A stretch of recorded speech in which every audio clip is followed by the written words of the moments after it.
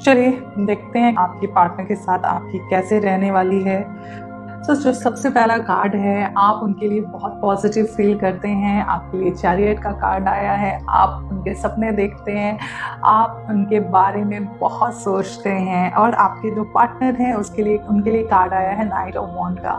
हो सकता है आपके पार्टनर फायर साइन को बिलोंग करते हों हो सकता है वो आ, वाटर एलिमेंट को भी बिलोंग कर सकते हैं। चांसेस हैं कि वो वाटर या फिर फायर एलिमेंट को बिलोंग करते हो। यानी कि वो एरीज लियो सैजी हो सकते हैं या फिर कैंसेरियन स्कॉर्पियन या पाइसिस हो सकते हैं।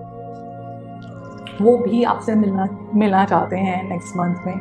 हो सकता है आपका रिलेशनशिप लॉन्ग डिस्टेंस रिलेशनशिप में हो और क्योंकि ट्रैवलिंग बहुत इंडिकेट हो रही है। हो सकता है आप दोनों कहीं घूमने जाने की प्लानिंग कर सकते हैं और आपकी ये प्लानिंग मैनिफेस्ट होने के चांसेस भी बहुत स्ट्रॉन्ग हैं ओके अगेन मुझे ऐसा लग रहा है आप प्लान कर रहे हैं अपने पार्टनर के पास जाना और साथ ही साथ आपके पार्टनर भी प्लान कर रहे हैं आपके पास आने को ओके सो यस मुझे ऐसा लग रहा है कि आपका लॉन्ग डिस्टेंस रिलेशनशिप है या फिर ऐसा हो सकता है कि आप एक ही सिटी में बहुत दूर दूर रहते हैं। या आसपास रहते हैं बट आप एक दूसरे से मिलना चाहते हैं स्पेशली ऑन वैलेंटाइन डे तो ये चीज़ है और आपका रिलेशनशिप बहुत स्ट्रॉन्ग रहेगा और आपके रिलेशनशिप में और भी स्पार्क आने वाला है।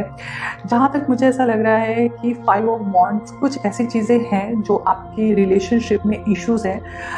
कहीं ना कहीं आप अपने बातों को एक दूसरे से ठीक से कम्युनिकेट नहीं कर पाते हैं बिकॉज़ कभी भी हेल्प मांगना आपको पसंद नहीं है। साथ ही साथ आपके पार्टनर जो हैं वो भी बहुत लॉन्ग टर्म प्लान करना चाहते हैं आपके साथ पर वो नहीं कर पा रहे हैं। कहीं ना कहीं आपका उनको कॉन्ट्रीब्यूशन नहीं मिल पा रहा है।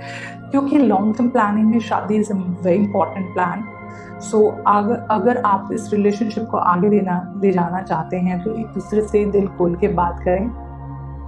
अगर आप एक दूसरे से शादी के बारे में सोच रहे हैं तो इसके बारे में भी बात करें और अपने रिलेशनशिप को आगे ले जाएँ। अपने रिलेशनशिप को शादी के लेवल पर ले जाएँ, क्योंकि कहीं ना कहीं आपके पार्टनर उस तरीके का सोच रहे हैं। ऐसा भी हो सकता है कि आप में से बहुत से लोग बिज़नेस प्लान कर के बारे में भी सोच सकते हैं अपने पार्टनर के साथ। Okay okay?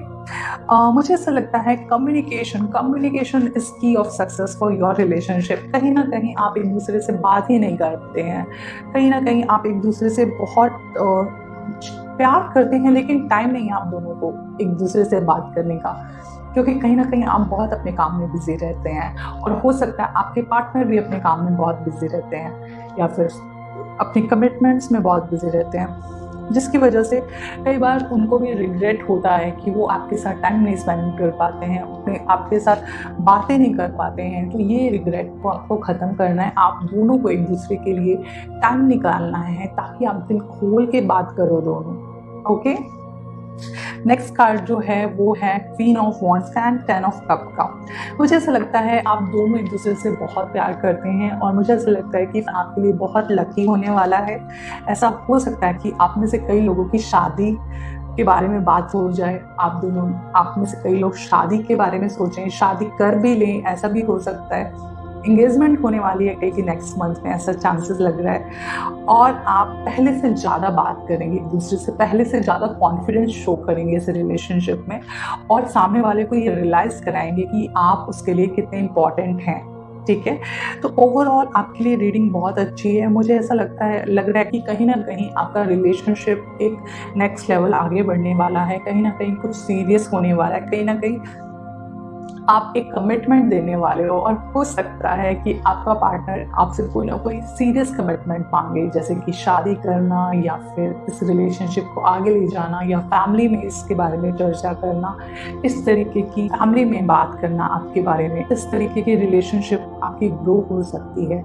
सो so, आप इस चीज़ के बारे में ज़रूर ध्यान दें। So let me conclude your whole reading मुझे ऐसा लग रहा है आप दोनों एक दूसरे को बहुत प्यार करते हैं। आप दोनों के रिलेशनशिप में स्कोप भी बहुत है और चांसेस हैं कि आपका रिलेशनशिप शादी तक जा सके। Okay okay? और मुझे ऐसा लग रहा है कि आप दोनों एक दूसरे से मिलोगे, आप दोनों को ट्रैवलिंग का चांसेस है। हो सकता है आप दोनों अलग अलग सिटी में रहते हो और एक साथ आए, आप एक जगह पे मिले, एक तो कॉमन प्लेस पे मिल सकते हैं या फिर एक दूसरे की जगह पे आप जा करके मिल सकते हैं प्लान कर रहे होंगे। आप दोनों का जो इशू है, वो ये है कि आप दोनों कभी दिल खोल के बात नहीं करते हो कम्युनिकेशन गैप है, या फिर सामने वाले क्या चाहता है आपसे, वो नहीं ध्यान देते। तो उस चीज़ पे थोड़ा ध्यान दो। हो सकता है सामने वाला आपसे कमिटमेंट चाहता है, शादी चाहता है स्पेशली आप। आपको इस इस तरीके से सोचना बहुत ज़रूरी है। कम्युनिकेशन आपको बहुत ज़्यादा करना है, बात करनी है, और हो सकता है तो जितनी आप बात करोगे, वो सोच समझ के करें और इसको रिलेशनशिप को एक सीरियस लेवल पे आगे ले जाने के बारे में सोचें। मुझे ऐसा लगता है कि आप में से कई लोग शादी करने वाले हैं या फिर रिलेशनशिप को आगे बढ़ाना चाहते हैं इंगेजमेंट करना चाहते हैं कम्युनिकेशन करना चाहते हैं और अपने रिलेशनशिप को एक स्टेबल प्लेस पे ले जाना चाहते हैं। एक